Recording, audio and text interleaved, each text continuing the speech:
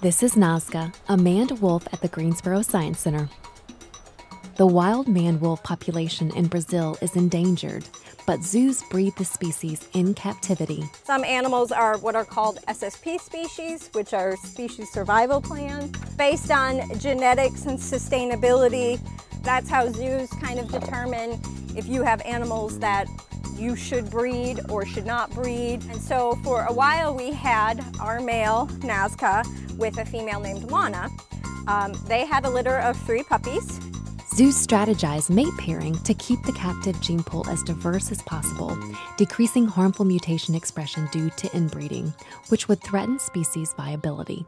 Think of the Species Survival Plan as an online match finding service for endangered animals. Dear ManedWolfLonelyHearts.com, suspend my account. Truly, I'm pleased with the mate your service found for me. While we are no doubt compatible, our DNA is diverse enough to keep things interesting. And my pups seem to have avoided some of my less desirable traits, such as the cowlick behind my right ear. Anyway, please count Lana and I among your success stories. Diversification of the gene pool is so important, however, zoos often separate a successful mating pair so that they don't mate again, which would homogenize the gene pool. Kind of the people, the SSP groups that look at where animals are and what the matchups are, they'll send out recommendations. We were recommended to get a new female to come in to be a new breeding female with our male, just to give it a little bit different genetics than what Lana and the male were. Tragedy has struck in the form of loneliness. Please reopen my account. Lana was a great match, but for gene diversity's sake, throw me a curveball, mate.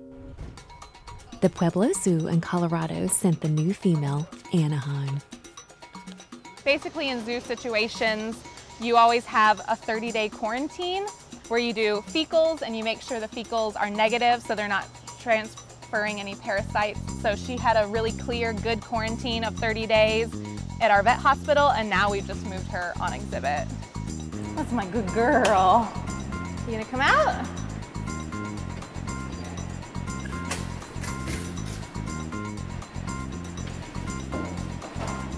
Will we be compatible? Every hair of my mane is bristling with excitement. Today she'll be out by herself alone, and then on Friday we're gonna have the male wolf Nazca come out and kind of meet her, and hopefully everything goes okay, and they'll be out together from then on.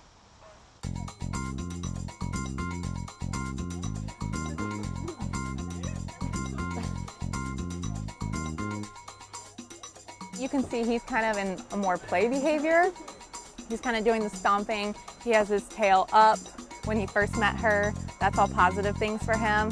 Hopefully she'll just kind of calm down and get used to him. This is all brand new for her, so she's kind of stressed to begin with. It's all really positive signs. There's no straight aggression. They're just kind of getting to know each other. So this is a good wolf introduction so far. So we have our fingers crossed. Nazca! Anaheim! Thank you.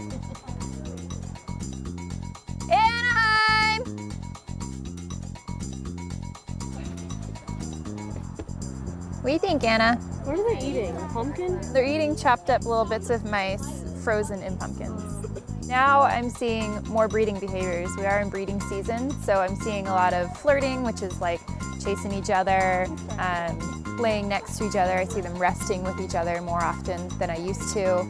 Before they were just kind of like Nazca and Anaheim, and now they're kind of Nazca and Anaheim. they're together now.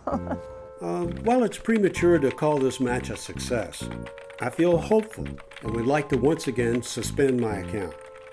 I feel good about this one, but I'm not sure how she feels about me. Well, wish me luck. I've got to woo her. The future of my species may very well depend on it.